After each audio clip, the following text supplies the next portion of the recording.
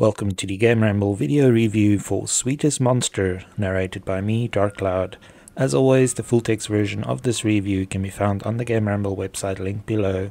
The TLDR is that Sweetest Monster is a release by Ebihime, which means interesting characters and memorable situations. It's definitely a much darker title than what you might think, but one that kept us hooked right to the very end. At only about 40,000 words, it's slightly shorter than the average visual novel, but the story is good and the price is very reasonable. Anyone looking for something with a bit more substance than the typical light-hearted catgirl visual novels should definitely give this kinetic novel a try. Gameplay receives a 9 out of 10. The story is beautifully written and definitely very memorable despite the lack of choices or branches. Graphics receives a 9 out of 10. The game features only a limited number of character sprites and backgrounds, but they're all great. Sound receives an 8 out of 10. There's no voice acting, but the background music and sound effects are of a very high standard. The overall score for Sweetest Monster is 8.7 out of 10. And now for the full review. There's definitely a trend among visual novel developers to create feel-good tales that are filled with fan service and fluff. There's nothing wrong with this, of course, as sometimes it is nice to just escape into worlds with adorable catgirls and light-hearted situations. However, anyone who goes into Sweetest Monster, a kinetic visual novel from Ebihime, expecting something like the Nekopara or Sakura series is in for a bit of a shock. Yes, this is a title that contains fan service, sexual content, and even some outright nudity. Still, each instance actually serves a purpose, and is not merely tacked on in a cynical effort to generate more sales. The protagonist of Sweetest Monster is Robin Hawkins, a middle-aged music teacher going through a rough patch. Not only is he drifting further apart from his wife Sally, but also his daughter Melody. After yet another fight with Sally, Robin storms off into the night to clear his head, and this is where his world is turned upside down. During his stroll, he encounters a beautiful girl named Belle, who has some mysterious ties to his past. Even stranger, Belle is not an ordinary human, but instead a catgirl.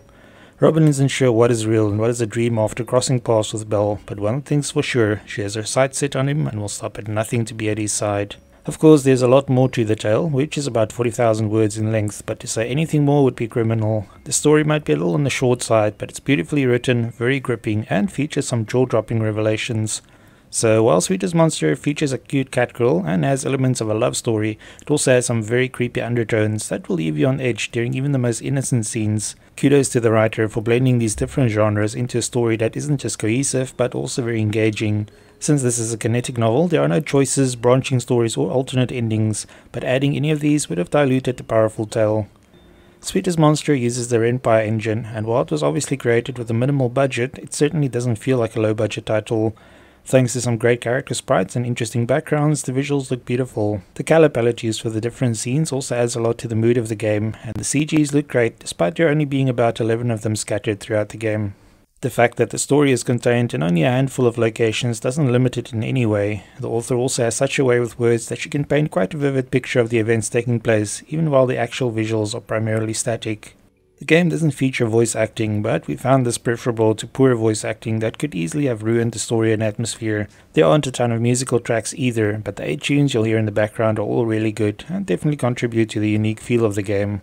Likewise, the sound effects are really good, and some of the clips such as the wind and rain are downright shiver-inducing when playing with a good pair of headphones. Although Sweetest Monster doesn't have a lot of replay value, you do unlock some nice extras after completing the game. These include an art gallery for viewing the CGs, a music box for listening to the background tracks, and author's notes, which offer some great insights about the story and characters. The game also features three achievements, which can all be netted by simply finishing the story, along with some nice trading cards. At the end of the day, Sweetest Monster is certainly not the longest or most lavish kinetic novel we have ever read, but there's no doubt that its story will be one we won't soon forget. It is probably not going to be a title for everyone, and some of the content definitely pushes a few boundaries, but if you're looking for something that really stands out in this crowded genre, then this comes highly recommended. Just do yourself a favor and avoid any spoilers before playing, or it won't have the same impact. Thanks for joining me for this Sweetest Monster PC review. Remember to like, subscribe, and share. Until next time.